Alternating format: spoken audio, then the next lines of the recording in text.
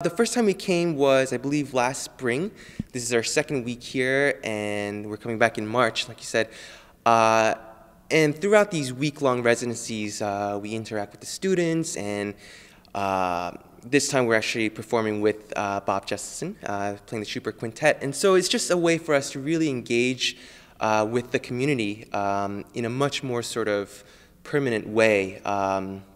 you know, usually when we go travel, we're in a city for a day or two and don't, you don't really get to get a sense of the community. But in doing this, uh, we feel, and especially going to these area schools, we feel like we can really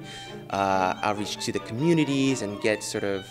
uh, bring awareness of chamber music uh, into the larger community.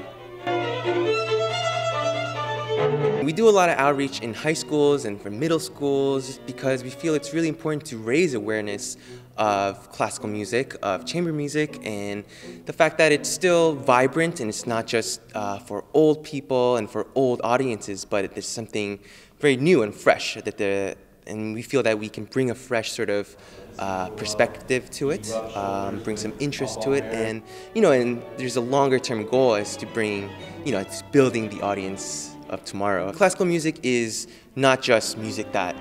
you know, uh,